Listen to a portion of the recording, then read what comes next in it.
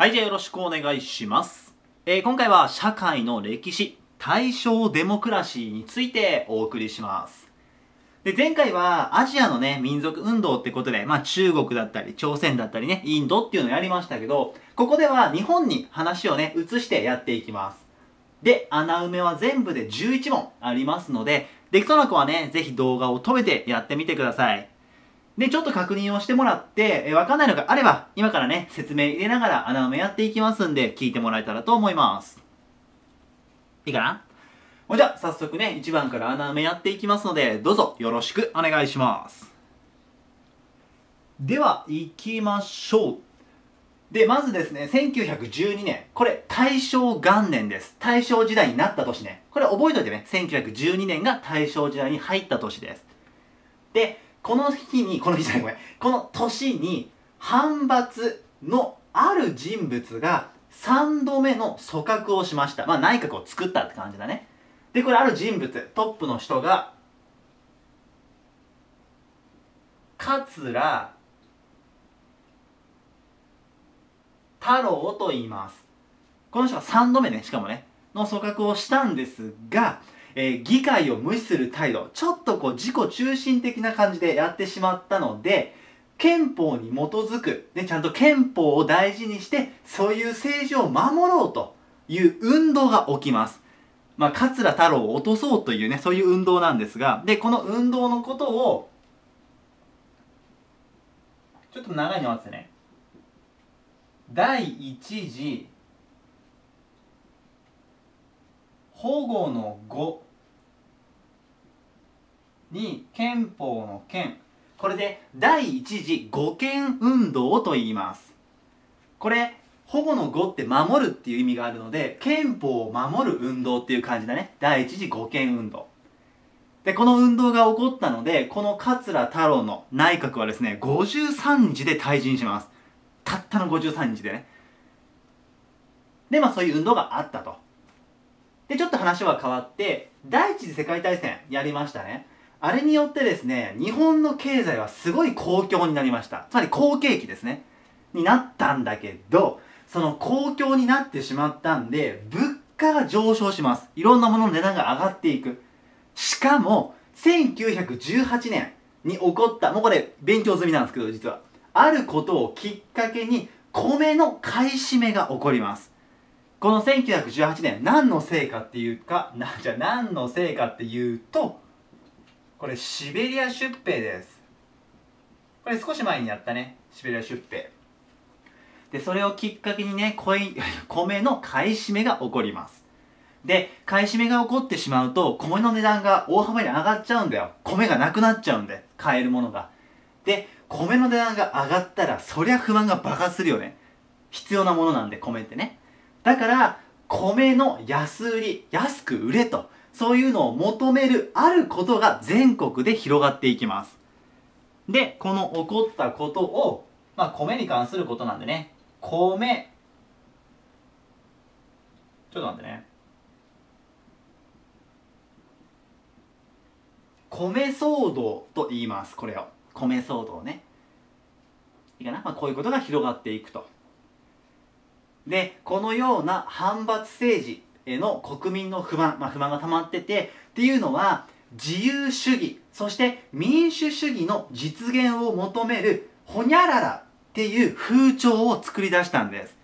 でこの自由主義とか民主主義の実現を求める風潮のことを今回のタイトルにもなってる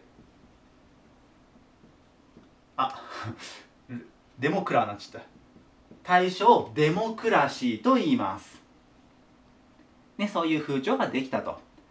で、この、まあ、大正デモクラシー、このね、思想を広める上で大きな役割を果たした人が2人います。で、それぞれ主張したものがあるので、ぜひ覚えてください。ここすごく大事です。で、まず、ほにゃらら主義っていうのを主張したある人物からいきます。で、主義の名前。これね、民主主義とすごく似てるので気をつけてください。この人が言ったのは民本主義と言います。いいね民本主義です。でこれをね唱えて主張してた人の名前が吉野作造と言います。吉野作造ね。この人が民本主義。で、えっと、今回板書の量の関係で入らなかったんですけどぜひ民本主義がどういうことかっていうのも覚えてください。ごめんちょっと口で言います。民本主義っていうのは普通選挙つまりまあ選挙だよね。普通選挙によって国民の意向、まあ、意思ですね。国民の意思を政治に反映させる。そういうことを大事にしようって言ったのが民本主義です。選挙を行って国民の意思を政治に反映させたいんです。ね、国民を置いてけぼりにするなって。そういうのが民本主義。を言ったのが吉野作造です。で、もう一人。この人は主義ではなくて、ほにゃらら説です。それを主張したある人物。で、説の言い方が2個あります。一応両方書くんで、まあ、片方覚えてください。で、えっ、ー、と、教科書でメインで載ってるのが、憲法学説と言います。ちょっと飛ばしててもね。憲法学説っていう。でもう一個の言い方なんですが俺らの時ねこれこっちで覚えてるんですけど天皇ちょっと待ってね。機械の木に関係の関で天皇機関説と言います。まあ、教科書両方載ってるので、どっちでもいいと思う。どっちでもいいと思います。まあ、憲法学説のが簡単かなとは思うけどね。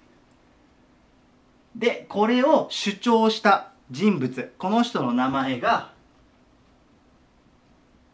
美しいに、恋に、ぶ。これで、美濃部と言います、名字。美濃部ね。で、名前が、達成するにまあ吉だね。これで美濃部達吉と言いますこの人。これが憲法学説を言った人だね。美濃部達吉です。でこの憲法学説は何かっていうと主権が国家にあってで天皇は国家の最高機関として憲法に従って統治するっていうね。それが考え方。大事なのは主権が国家にあるっていうところがすごく大事です。この人の場合はね。まあ、ぜひね、教科書にも載ってると思うので、そっちで確認してみてください。まずは、民本主義が吉野作造。そして、憲法学説が美濃部達吉。このセットをぜひね、お願いします。で、えっ、ー、と、ちょっと4番ね、同じ答えなんで、米騒動もう一回いきましょう。お待ちください。ちょっと待ってね。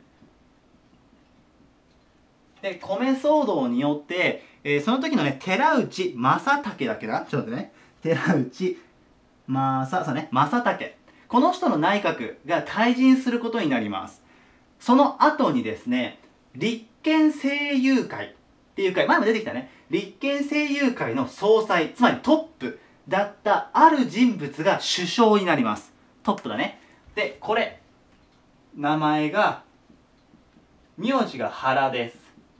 で、名前も漢字一文字で、これで原隆と言います。ね、この人が首相になる。そして、この人はですね、陸軍、海軍、外務、この三大臣、ここの大臣以外は全員立憲政友会の党員で組織したんです。つまり、もともと仲間だった人たちでいっぱい、こう、組織を作った。内閣をね。で、この人がそういうのを作った、初めて作ったんだけど、で、ここから本格的なホニャララが成立していく。これのことを、